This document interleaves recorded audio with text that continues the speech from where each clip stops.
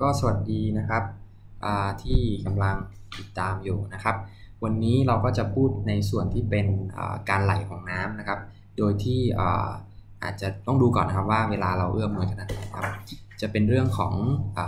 การไหลของน้ำในในดินหรือในสภาวะที่อิ่มตัวด้วยน้ำนะครับเดี๋ยวผมขออนุญาตปิดกล้องก่อนนะครับจะได้จากตรงนี้โอเคครับข้อที่จะ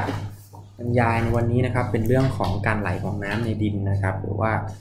water flow นะครับ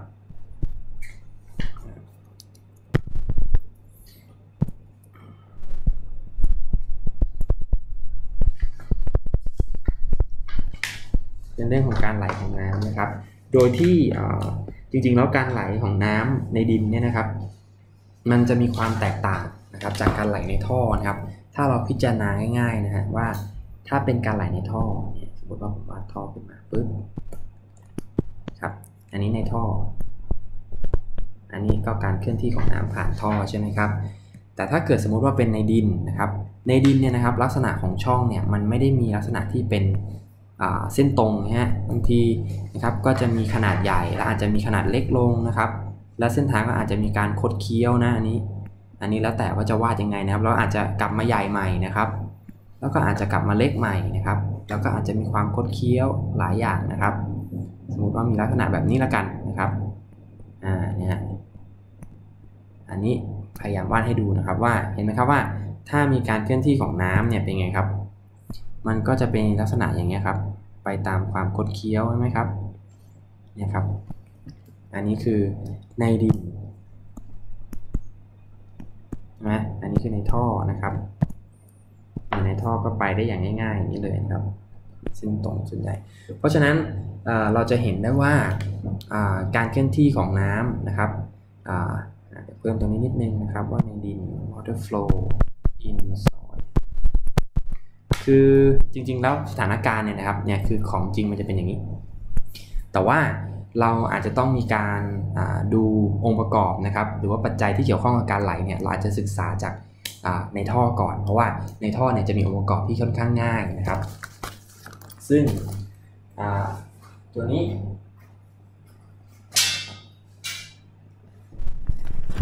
ครับ ซึ่งในท่อเนี่ยครับทางด้านซ้ายมือเนี่ยนะครับ จะเห็นได้ว่ามันเป็นเส้นตรงใช่ไหมง่ายนะ อันนี้ทางขวามือก็จะเป็นในดิน ทีนี้ผมอยากให้นิสิตนะครับ รู้จักคำนะครับกลุ่มคำบางกลุ่มคำนะครับที่จะ เห็นได้ชัดว่ามันมีการเคลื่อนที่อย่างไรได้บ้างนะครับ โดยที่ผมจะลองวาดภาพขึ้นมาให้ดูนะครับว่าในแง่ของระบบดินเนี่ยนะครับ อยากจะขยายความนิดนึงนะครับ ให้ไปถึงในเรื่องของวาโดโซนนะครับ จะทำให้มีความเข้าใจมากยิ่งขึ้นนะครับ อันนี้ผมกำลังวาดวาโดโซนครับ อันนี้เป็นระดับน้ำใต้ดินครับ ระดับน้ำใต้ดิน ตัวนี้เป็น ซอยเซอร์เฟสนะครับ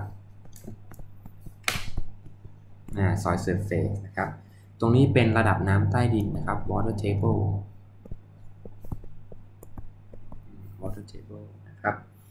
แล้วก็มีอยู่ช่วงหนึ่งนะครับ ตรงนี้จะเป็นโซนของ capillary fringe นะครับ มันเป็นโซนที่จริงๆ เราอิ่มตัวด้วยน้ำนะครับ เป็นโซนที่อิ่มตัวด้วยน้ำตรงนี้เรียกว่า capillary fringe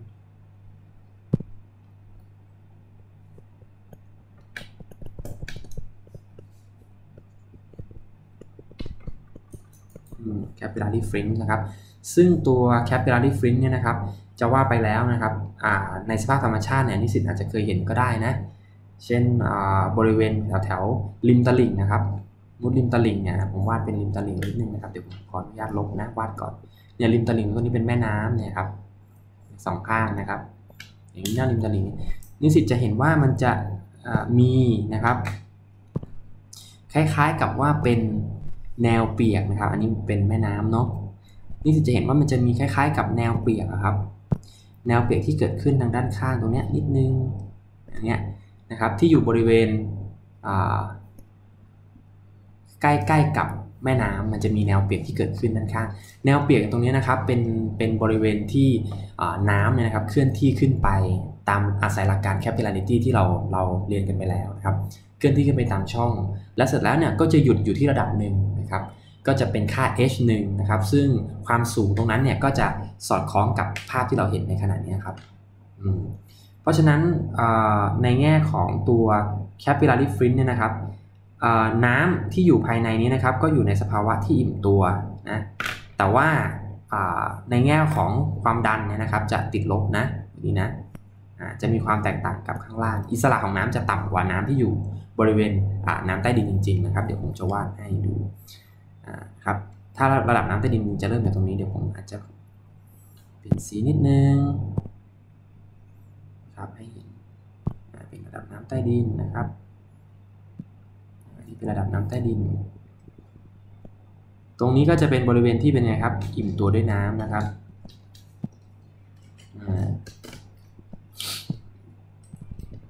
ตรงเนี้ยนะ ตรงนี้ก็จะเรียกอย่างว่ามันมีลักษณะเป็น saturated zone นะครับตัวนี้ผมวงเล็บแล้วกันนะตั้งแต่นี้ลงมาเรียกว่า saturated zone เป็นโซนที่อิ่มตัวด้วยน้ำนะครับ แล้วก็ถัดขึ้นมานะครับ บริเวณนี้ถ้าตรงนี้อิ่มตัวด้วยน้ำตรงนี้ทั้งแถบเลยนะครับ ก็จะเป็นโซนที่เรียกว่าอะไรครับ unsaturated zone ครับ อ่านี่นะครับเป็นอย่างนี้นะครับ ทีนี้นะครับถ้าเราดูอย่างนี้นะครับ ผมจะควบรวมนะครับว่าถ้าเป็นระยะนะครับตั้งแต่บริเวณผิวดินบนนะครับเลื่อยมาจนกระทั่งถึงบริเวณระดับน้ำใต้ดินนะครับก็หมายความว่า unsaturated zone บวกกับ capillary fringe ตัวเนี้ยก็จะมีค่ากลายเป็น Wado zone อ่าแล้วอาจจะมีคำถามว่าเอ๊ะแล้ว อาจารย์รูทโซนอยู่ตรงไหนนะครับ อันนี้ก็แล้วแต่พืชนะครับ สมมุติว่าผมวาดต้นพืชขึ้นมาหนึ่งต้นนะครับอยู่ตรงนี้มีระบบรากนะครับ แล้วก็อันนี้เป็นใบนะโอ้ต้นไม้ผมน่ากลัวเหลือเกินอะนะครับเนี่ยรูทโซนก็คืออยู่ในเขตรากพืชรูทโซนอยู่ที่นี่ภาพนี้ทำให้นิสิตเห็นทั้งระบบแล้วนะครับว่า เดี๋ยวพอเราพูดถึงเรื่อง การเคลื่อนที่ของน้ำในดินนะครับอ่าผมจะลองใส่ดูนะ ผมจะใส่ด้วยตัวขอใช้สีฟ้าแล้วกัน ถ้าเราดูนี่นะครับนะการเคลื่อนที่เดี๋ยวเอาสีแดงดีกว่าจะได้ชัดเจนนะครับ การเคลื่อนที่นะอ่าเดี๋ยวผมจะใส่สัญลักษณ์ตรงนี้ว่า เส้นสีแดงนะครับหมายเหตุก่อน สีแดงนะครับ ลูกศรแบบนี้เนี่ยครับมีค่าเท่ากับ water flow นะครับ water flow direction ก็แปลว่าทิศใช่ไหมทิศในการเคลื่อนที่นะครับ จะเห็นได้ว่าถ้าเป็นในโซนที่ไม่อิ่มตัวด้วยน้ำนะครับ การเคลื่อนที่ของน้ำเนี่ยมักจะมีทิศทางส่วนใหญ่แล้วนะครับ จะเป็นอย่างนี้ครับ ส่วนใหญ่แล้วจะเป็นนี่ครับ และมีบางส่วนนะผมขออนุญาตใช้ว่าบางส่วนก็จะเป็นเส้นปัดเออบางส่วนก็จะเป็นทางด้านแนวระนาบนะครับอ่าทีนี้ถ้าเกิดเป็นในบริเวณที่อิ่มตัวด้วยน้ำด้านล่างเลยเนี่ยนะครับ มันก็จะเป็นไงครับ การเคลื่อนที่บนขึ้นบนลงล่างเนี่ยก็จะเกิดน้อยกว่า แต่จะเน้นหนักที่ไหนครับ การเคลื่อนที่ในแนวระนาบเนาะแต่ว่าถ้าเกิดเป็นบริเวณ capillary fringe เนี่ยจะมีทั้ง2ออย่างเด่นพอๆกันนะครับโซนนี้จึงเรียกอีกอย่างว่า mixing zone ก็ได้ อ่านะตรงนี้นะเนะครับ เพราะฉะนั้น เวลาที่เราพูดถึงการเคลื่อนที่ของน้ำในดินนะครับ บางครั้งเนี่ยเราก็จะใช้condition หรือว่าสภาวะเนี่ยกำกับว่าเป็นการเคลื่อนที่ในขณะที่ดินอิ่มตัวด้วยน้ำนะก็จะสามารถ apply ได้กับบริเวณนี้ครับโซนนี้อ่าแม้โซนนี้ก็จะ apply ได้ หรือว่าประยุกต์ได้ แต่ถ้าเกิดเป็นในสภาพที่เป็นไงครับ โดยทั่วไป โดยเฉพาะยิ่งที่บริเวณ root zone เนี่ยทางการเกษตรใช่ไหมนะ ทางการเกษตรเนี่ยจะสัมพันธ์กับ root zone ใช่ไหมครับรากพืชดูดใช้น้ำอะไรเงี้ยตรงนี้นะครับก็จะเป็นการเคลื่อนที่ของน้ำในสภาวะที่เป็นครับ ไม่อิ่มตัวด้วยน้ำก็จะเป็นอันนี้แทนโอเคไหมทีนี้ในการศึกษาเดี๋ยวเราจะมาพูดถึงสมการบังเอิญนิสิตลองพอเดาได้ไหมครับเดี๋ยวผมลบตรงนี้นิดนึงนะอ่าลงลบนิดนิดนึงครับให้นิสิตลองคาดเดาสิครับว่า อันไหนง่ายกว่ากันครับเนี่ยระหว่างที่อิ่มตัวด้วยน้ำนะครับ ตัวนี้คืออิ่มตัวด้วยน้ำนะ อิ่มตัวด้วยน้ำอันนี้ไม่อิ่มตัวด้วยน้ำคิดว่าการเคลื่อนที่ของน้ำใน condition ไหนหรือว่าในสภาวะไหน ถึงจะง่ายกว่ากันครับในการศึกษาคงจะเดากันได้เนาะว่าถ้าเป็นระบบที่อิ่มตัวด้วยน้ำมีน้ำเต็มทุกช่องในดินนะครับ การเคลื่อนที่ก็คงจะง่ายกว่า แต่ถ้าเกิดเป็นในระบบที่ ดินไม่อิ่มตัวด้วยน้ำนะความชื้นน้อยๆเนี่ยนะครับในดินเนี่ยจะส่งผลทาให้ความคดเคี้ยวที่ไปเนี่ยมีมากขึ้นนะครับการเคลื่อนที่ของอน้ำในสภาวะที่ไม่อิ่มตัวด้วยน้ำจึงยากกว่าครับเดี๋ยวผมจะลองวาดให้ดูนะครับทางด้านนี้นะครับนิดนึงนะครับขออนุญาตลบตรงนี้หน่อยละกันนะครับเดี๋ยวนะอันนี้อยากให้อยู่ในหน้าเดียวกันนะครับ จะได้จำได้นะครับโอ เคเดี๋ยวผมเขียนให้ใหม่นะครับ ตรงนี้เป็นซอยเซอร์เฟสเนาะเอาค้างไว้ก่อนนะครับอ่านะครับ ที่ผมอยากจะวาดให้ดูนะครับก็คือว่า เป็นสภาวะนะครับ เป็นสภาวะ เดี๋ยวให้ดูนะครับ ตั้งแต่สภาวะแรกคือ dry soil นะครับ สภาวะที่2นะครับ ก็คืออมีความชื้นนะครับ อาจจะเป็นที่ FC อ่าเดี๋ยวต้องวาดดูนะครับ นิสิตคงจำได้นะว่าที่บริเวณ FC เนี่ยคือจุดที่ความเป็นประโยชน์ของความชื้นเนี่ยสูงสุด แล้วก็ PWP เนี่ยก็ต่ำสุดใน FC อันนี้ PWP นะครับแล้วตรงนี้อันนี้ผมให้เป็นจุดที่อิ่มตัวด้วยน้ำนะผมใช้ตัวย่อว่า Z ก็แล้วกัน สมมุติว่ามีเส้นทางนะที่วาดกลมๆนี้คืออะไรครับอนุภาคดินนะผมจะพยายามวาดเป็นอนุภาคดินครับให้เหมือนกันให้ได้ จริงๆโอเคนะครับ ประมาณนี้นะครับปึ๊บสมมุติว่าทั้งสามภาพมีอนุภาคดินที่เหมือนกันนะครับ เหมือนกันหมดเลยจริงๆโอเค ทีนี้นะครับ นี่คืออนุภาคดิน จะได้รู้ว่ามันเป็นของแข็งนะครับตรงนี้ของแข็ง นิดนึงนะครับ จะได้จำง่ายด้วยนะครับ เวลาที่เรามีภาพประกอบอย่างเงี้ยนะครับ จะทำให้อาจจะทำให้เข้าใจได้ง่ายขึ้นนะครับ ทีนี้สภาวะที่แตกต่างกันตรงนี้นะครับอ่าผมจะใส่ความชื้นนะครับ ใส่ความชื้น ความชื้นสักนิดนึงนะครับอ่าถ้าเป็นระบบอิ่มตัวด้วยน้ำเป็นไงครับอ่าเห็นไหมครับ ทุกช่องเนี่ยก็จะเต็มไปด้วยแหละครับ ความชื้นนะครับ อ่าก็จะเป็นอย่างนี้นะครับ จริงๆแล้วเราก็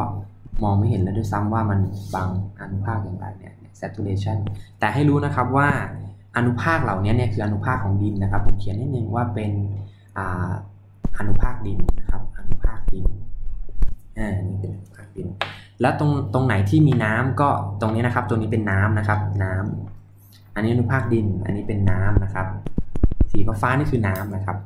อ่าทีนี้พอในระบบที่เป็น FC เนี่ยนั่นก็หมายความว่าความชื้นมันลดระดับลงไปแล้วใช่ไหมครับพอความชื้นลดระดับลงไปแล้วปุ๊บเนี่ยสิ่งที่เกิดขึ้นนะครับ สิ่งที่เกิดขึ้นคืออะไรนะความชื้นก็เป็นไงครับมันก็จะนี่ยครับอยู่รอบๆนะครับภาคดินใช่ไหมครับนะฮะนะครับบางทีมันก็อาจจะมีช่องอยู่ด้วยด้วยด้วยเหมือนกันนะครับ ตัวนี้นะนะครับ จะประมาณนี้นะครับจะเห็นได้ว่ามีอะไรมาเพิ่มครับ มีบริเวณช่องว่างเนี่ยมาเพิ่มเนาะนี่ก่อนนะครับตัวนี้จะเป็นชื้นให้เห็นแต่ว่ามีช่องว่างด้วยแล้วนะครับ เพราะฉะนั้นตัวที่มันเป็นช่องว่างอย่างเงี้ย ตรงนี้เป็นอากาศครับนะย่อมมีอากาศบ้างใช่ไหมครับ FC และอันสุดท้ายที่สภาวะที่เป็นอะไรครับ PWP นะครับ ตัวนี้เนี่ยถือได้ว่าความชื้นนั้นเหลือน้อยมากนะครับ อาจจะ มองง่ายๆว่าเป็นแผ่นฟิล์มนะครับบางๆนะครับบางๆเนี่ยครับบางๆอย่างนี้ครับบางมากเลยนะครับอ่าอยู่แบบนี้นะครับ ทีนี้เราลองมาเปรียบเทียบดูนะครับว่าอ่าผมได้ตั้งคำถามใช่ไหมครับว่า water flow หรือว่าการไหลของน้ำเนี่ยในสภาวะที่อิ่มตัวด้วยน้ำกับไม่อิ่มตัวด้วยน้ำไหนจะยากง่ายกันนะครับ ตัวนี้ครับผมจะใช้สัญลักษณ์เดิมนะครับ ก็คือ water flow เป็นลูกศรสีแดงนะครับ ในกรณีที่ดินอิ่มตัวด้วยน้ำเนี่ยนะครับ เปรียบเสมือนกับช่องมันต่อเนื่องกันหมดแล้ว เพราะฉะนั้นการเคลื่อนที่ของน้ำเนี่ยจะค่อนข้างเป็นเส้นตรงนะครับเนี่ยฮะก็จะไหลเห็นไหมครับ ใกล้เคียงกับเส้นตรงนะครับ แต่พอเป็นอะไรครับ แต่พอเป็น FC เนี่ยนะครับ ก็ต้องไหลไปตามบริเวณที่มีน้ำอยู่จริงไหมน้ำไม่สามารถจะเคลื่อนที่ไป ในอากาศได้ใช่ไหมครับ มันก็ต้องอยู่กับพวกเดียวกันถึงพากันได้ เพราะว่าอาศัยในเรื่องของพันธะไฮโดรเจนนะทั้ง cohesion ในการดึงโมเลกุลน้ำกันเองนะครับ การเกาะไปกับอนุภาคหรือว่า adhesion ก็เลยทำให้ทิศทางในการเคลื่อนที่เนี่ยก็จะโค้งๆนิดนึงนะครับ อาจจะประมาณนี้อ่าครับ แต่พอเป็นพีนูพีเป็นไงครับ water film หรือว่าแผ่นน้ำที่อยู่รอบๆอนุภาคดินก็ยิ่งบางลงไปกว่าเดิมอีกจริงไหมครับ ราะฉะนั้นสิ่งที่เกิดขึ้นมันก็เลยทำให้เส้นทางในการเคลื่อนที่ของน้ำเนี่ยสมมติว่าเข้ามาช่องทางนี้นะครับ เป็นไงก็ต้องอ้อมกันไปนะครับ อย่างนี้นะฮะอย่างเงี้ยอ่าเห็นไหมนิสิตเห็นความคดเคี้ยวที่เกิดขึ้นไหมครับความคดเคี้ยวเนี่ยตามลูกศรสีแดงที่เกิดขึ้นเนี่ยมันก็จะเป็นเครื่องหนึ่งที่บ่งบ่งชี้นะครับว่าการเคลื่อนที่ในสภาวะที่ไม่อิ่มตัวด้วยน้ำเนี่ยนะครับเพียงแค่เริ่มต้นจาก FC นี่ก็ก็เริ่มยากละนะ พอเป็น PWP ปุ๊บเป็นไงยิ่งยากเข้าไปใหญ่เลย เพราะฉะนั้นในสภาพธรรมชาติเนี่ยที่ดินมีการปลูกพืชอยู่เนี่ยนะครับ แล้วเรากำลังพูดถึงโซนที่เป็นไงเกี่ยวข้องกับรากพืชเลยพวกนี้นะครับ มันก็จะส่วนมากเลยนะครับ ก็จะเป็นอยู่ในช่วงเนี่ยครับ อยู่ในช่วงจากนี้ถึงนี่จริงไหม FC ถึง PWP เพราะนั้นมีความยากพอสมควร มีความสลับซับซ้อนพอสมควรนะครับในการอธิบายอย่างน้อยๆเนี่ยก็ต้องอธิบาย ได้ต้องใช้องค์ประกอบในการอธิบายมากกว่าในระบบที่อิ่มตัวด้วยน้ำสาเหตุเป็นเพราะอะไรครับ เพราะว่าในระบบที่อิ่มตัวด้วยน้ำเนี่ยเราจะมีแค่อะไรครับ solid ใช่ไหมครับ solid กับอะไรครับ liquid นะผมขออนุญาตใช้ตัวย่อก็แล้วกันเนาะมีแค่ของแข็งแล้วก็ของเหลว จบไม่มีอากาศนะไม่มีอากาศเนี่ยแต่พอเดี๋ยวผมต้อง ระบายอันนี้ให้ดีนิดนึงนะครับอบอกไม่มีอากาศน้องไม่เห็นช่องโอเคนะครับ ในขณะที่อะไรครับ ถ้าเป็นระบบที่ไม่อิ่มตัวด้วยน้ำเนี่ยมันจะมีทั้งอะไรครับ solid คือของแข็งอนุภาคดินใช่ไหมครับ มี liquid คือน้ำแล้วก็มีอะไรด้วยครับ gas นะครับก็คือส่วนที่เป็นอากาศ เพราะฉะนั้นมันจึงมีลักษณะที่ซับซ้อนกว่านิดนึงนะครับ แต่เบื้องต้นในการที่เราจะทำความรู้จักในเรื่องของสมการ การเคลื่อนที่ของน้ำภายในดิน เราก็จะเริ่มจากระบบไหนก่อนครับ ระบบที่อิ่มตัวด้วยน้ำก่อน เพราะฉะนั้นเราจะวันนี้เราจะทำความรู้จักตรงนี้ก่อนครับเดี๋ยวผมขออนุญาตนะครับไปที่ตัวสมการนะครับ ทีนี้ก่อนจะไปถึงสมการเนี่ยผมก็ขออยุติคลิปนี้ไว้ก่อนนะครับ แล้วเดี๋ยวมาติดตามกันในคลิปต่อไปนะครับสำหรับคลิปนี้เอาเท่านี้ก่อนครับ